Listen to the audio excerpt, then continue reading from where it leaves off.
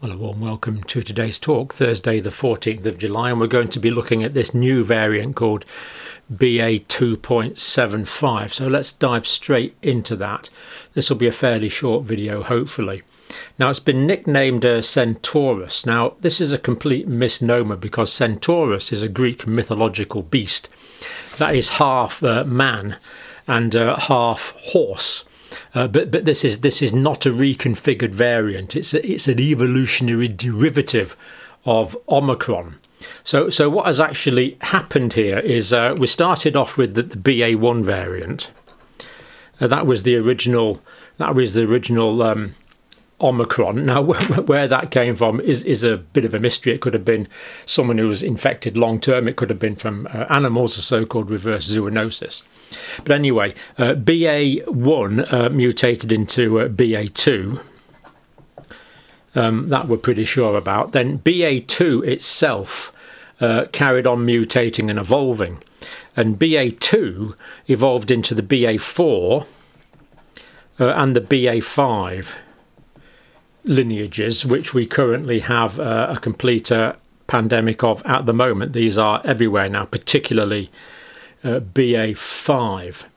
So that's where they came from, from the BA2. But separately, the BA2 has also evolved into this BA 2.75. So it's a separate evolutionary process from BA2. So all of these current, all of these that are current at the moment, have derived from BA, uh, from BA2. So we, are familiar with this sort of thing actually because we, have looked at this diagram before, which is the various uh, evolutions of the virus. So we started off uh, in Wuhan with the original strain of the virus. Then that evolved into this lineage here, which became alpha, and then that, the lineage further down became delta. Uh, Omicron, we don't really know where it came from. As we said, it looks like it's from the original one, but there's a lot of lost time where we don't know what was happening with Omicron. But uh, we do know that this uh, BA2.75 is a derivative of uh, Omicron. So, um, but as we said, mis misnamed, it's not a hybrid, it's not a recombinant. Now, this emerged in India in early May and it's spreading fast, and the, the um, sequencing in India is relatively poor but it seems to be about 50% of cases in India at the moment, but it's accelerating quickly in Indian sequencing is the key point. Now, India's got fairly low levels of BA5. It didn't quite bypass BA4, BA5. But what it means is in India, the BA 2.75 is probably competing mostly against BA2 and it's outcompeting that. How and to what degree it's going to outcompete BA5 is not yet uh, clear. It could be that uh, BA 2.75 basically hits a brick wall when it hits, uh, it won't outcompete BA 5. That, that's possible. But then again, it's possible it will outcompete BA5 and become the predominant variant. And at the moment, we would be guessing if we said which was which. We simply don't know. So far, with no evidence that it makes people sicker.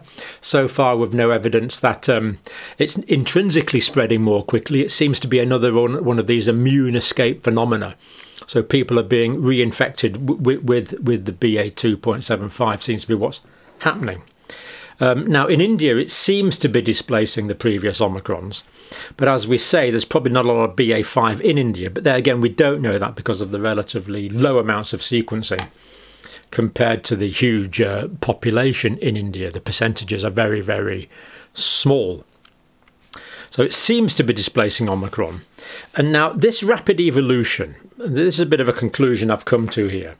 We, we were saying that basically um, SARS coronavirus 2 is going to become another influenza, maybe with an annual injection, and we'll treat it a bit like flu. It's evolving far too quickly for that. This model is not working. So, however, we end up living with SARS coronavirus 2, it's probably not going to be the influenza model, and there's still quite a few unknowns on that at the moment. We are in endemicity now, there's no question about that. How that's going to evolve is what we don't know, but it's not going to be the same as influenza as people have been predicting for some time now. It looks like that is wrong. This virus has taken us by surprise. It really is a very, very strange uh, virus. So the influenza model is not going to work. Now, so far, as well as India, it's been detected in uh, Los Angeles area in, in, the United States. Probably other areas in the States we don't know about. UK for sure, Australia, Germany, Canada, Netherlands, about 10 countries altogether. There's a few others as well, but um, countries of interest where it's been detected. Now, European Centre for Disease Control uh, are calling it a variant under monitoring, and that, that was designated just a week ago, 7th of uh, July. So this shows how recent uh, this is to be officially picked up. Now, we don't know this for sure yet. This is based on Twitter feeds, so we're not really sure. But there seems to be nine uh, spike protein mutations, which is a lot to happen all of a sudden. So here we have the here we have the virus, as you know, and we have the spike proteins that actually go into the cells, actually adsorb onto the human cells that are going to infect. So um, the mutations are in this area here. And the very bit that actually binds into the cells called the receptor binding domain we know there's at least one mutation in, in the receptor binding uh, uh, domain that actually latches into the cells. So this is probably the, why the, this is probably the mechanism of the immune escape. So we believe nine spike protein mutations Again, why we get so many mutations all at once is surprising. Um, I guess there's just so much virus around, as we'll probably look at probably in the next video actually, but there's so much virus around that there's ample opportunity for um, this mutation process to take place. And the driver for the mutational process is the immune escape because the virus can only survive in people where the immune defences of that person don't combat the virus. Therefore, by definition, the viruses that are selected for in the evolutionary process are those that have the immune escape and can reinfect. Um, so uh, amino acid change evades some neutralizing antibodies. Now, probably quite a few neutralizing antibodies actually, but this is all we can say at the moment. And this, of course, also means that the antibody therapies that we have been giving are probably not going to work against BA2.75. The antiviral should still hopefully work, but the antibody therapy, the, the, the monoclonal antibodies that have been effective in the past, probably won't work against this uh, variant. Now, this is the change in the receptor binding domain. It's on the four, this is why we know it's so position 446, amino acid 446 in the protein. Um, we know that's a receptor binding domain protein, and the G amino acid has been converted to the S, that's the mutational change. So uh, it was glycine, it used to be glycine, that's been replaced with uh, serine, that's the amino acid change on the receptor binding domain, but we know we believe there's another eight mutations as well as that, differentiating it from BA2. Individual response will be influenced by immune history, there's no question about that. So we are very hopeful, all the virologists I've read on this so far are very hopeful that this is not going to cause more severe illness, more hospitalizations, more deaths. Um, not because the virus is necessarily intrinsically less pathogenic, but because most people have a level of immunity. So, people, uh, if, if, there were people that weren't exposed to this virus at all, uh, then the BA uh, 2.75 would probably make them uh, have a fair, about a 5% chance of really getting quite ill. Uh, as we saw with the earlier waves, but because most people now have got some level of immunity to SARS coronavirus 2, that's going to influence it. So we're, we're fairly hopeful, pretty confident that this is not going to cause increased hospitalizations and deaths, but um, we, we, we don't know that yet. But I'd be very surprised if it did. And interestingly, um, some very early work saying uh, BA1 infection, the immunity generated by BA1 infection, may be protective. So it could be that the people being reinfected by this are those that have been infected with BA2, for example, or, or other previous variants such as the alpha or delta. Um, but BA1 immunity, the original, the original form of the um, the Omicron uh, virus, um, may may be uh, protective. So these people could be protected, whereas these people who are infected with this are not protected. But that's the evolutionary uh, progression of that. It's come from BA2. So where the next mutant is going to come from, um, we, we, really don't know. Now, given there's not a lot of BA1 left, it's probably not going to come from BA1. And in fact, there's not a lot of BA2 left now because it's been more replaced with BA4 and BA5. Um, but that's where this one came from, indicating that it probably evolved probably about six weeks ago or so in India, which has more uh, BA2. So um, that's basically what we know about this um, at, the moment. Pretty pretty limited.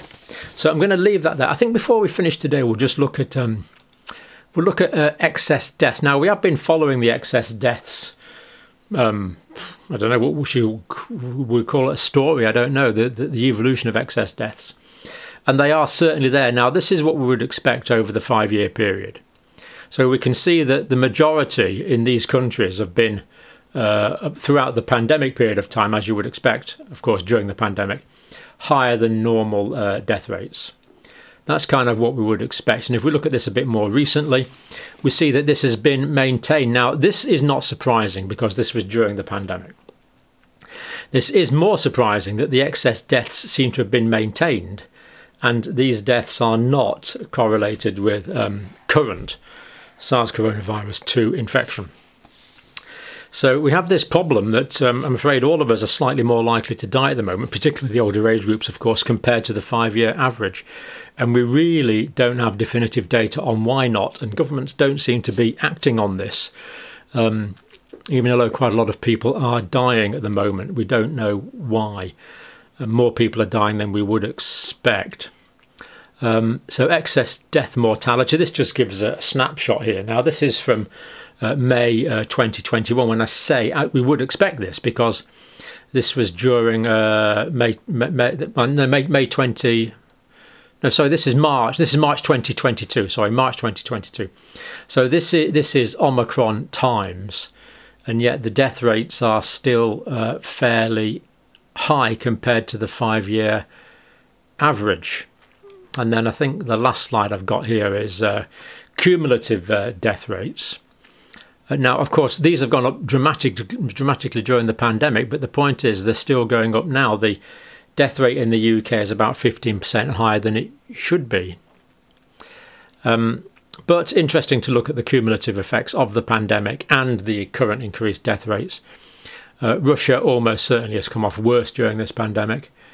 Uh, then the United States, then Brazil, then Mexico, and then various uh, other countries there. Um, and the, the, these are projected on, on previous waves. Now, these are actually, as you see, these are actually numbers. So, uh, given that the population of the United States is quite a lot higher than Russia, uh, we see Russia's done particularly uh, badly.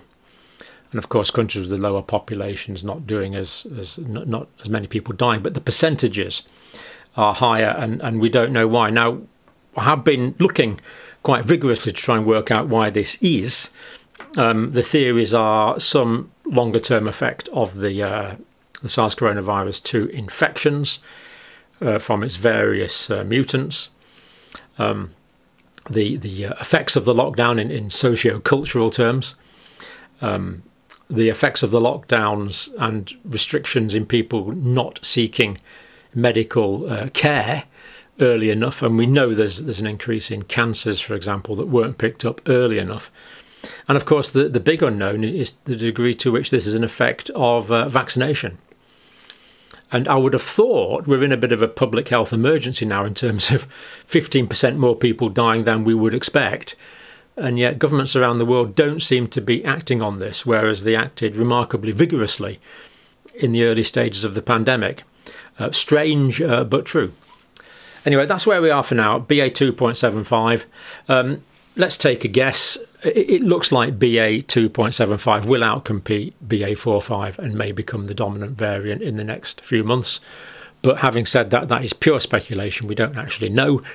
Uh, we'll probably not get data on this. Well, actually, we should get some data on this uh, about the 24th of July in the UK when the technical update on the variants will be released. The previous technical update on the 24th of June, uh, BA 2.75, didn't exist, it wasn't there. And the same goes for the CDC data. It hasn't officially been registered by the CDC data or the, the uh, National Health Service uh, data at all uh, yet, uh, but that's always delayed, so it will be. And then we'll know more and we'll comment then. Until then, thank you for watching.